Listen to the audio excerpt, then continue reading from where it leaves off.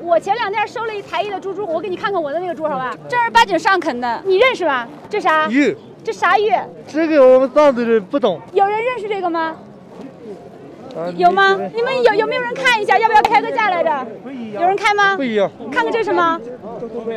不开，给你看看我上上肯价的，这种店里都很少了，在一个老藏民那里拿的，七八十年代就没了。我店里真的有好几个呢，一模一样。不是的话，我送你，你去看一下嘛手工的一。个东西啊，我们藏族人从来不是那种是吧假话，这个看什么？就给你看看一下是吧？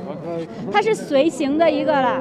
正常这这种啊，它是很规矩的。它在那个那个年代，它也有做，跟这个年代是不一样的。这个年代它就是拿那种钢材往上面打嘛，但那个年代不一样，上肯的工艺是最棒的。收我们去看一下嘛，店里。去看一下，去看一下。嗯来来去。去看一下你才艺的猪猪，把我带到批发的档口，这个小哥哥，你在批发市场又又又要说我又忽悠我啊！哦，批发油。我我去外边看，去外边看，我要老的，你出来看，出来看。它这个是个五眼的，这边是贪嗔痴，这边是慈悲，所以说贪嗔痴慢疑，人要放下五毒，讲的是这一个。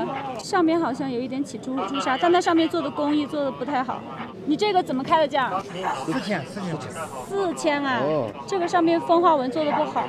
这个做的最好的地儿是哪儿呢？它整个有一点点玉化的一个感感觉，还有它的孔道，相对来讲做的还是比较逼真的。给你看看，已经有一点拉拉痕了，嗯有人佩佩戴过。但你这上面不好的地儿是上面做的这个风化纹做的不好，你便宜点给。给你给多少？嗯，二百出不出？你二百能给吧，咱就出了。正常来讲，别人给你开一百五，你都会给的。啊，可以可以。这个呀、我我就看上它，你佩戴过一段时间了。天珠这个东西，它佩戴过才有灵性。你看，这这好了，二百了啊！注意注意一下。好，走了，在在外边再看看，可能很难有好运气能碰到老猪猪了。你只有去村里收才行。等一会儿再去村里收一下，看看还能不能收到我的上肯猪猪。九宫八卦，你要的话给你两千。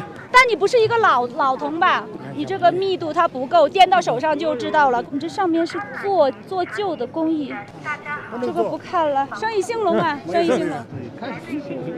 哎，你这个是个啥呀？这个我没有见过。有句话嘛，叫知之为知之，不知为不知嘛。这个我我不认识它，所以我不能拿。这个不要，哥哥。太热情了，你们！天哪，哎呀，我有点头晕了。你谈价嘛？这个是啥？就是对于认识的人来讲，可能会觉得它是一个老物件，但对于我这种一点都不懂的人来讲，就会觉得它可能没有什么意义，还是在于人的。走了走了就走了，再看看别的。我都快看花眼了，全是新的，去村里吧，走吧。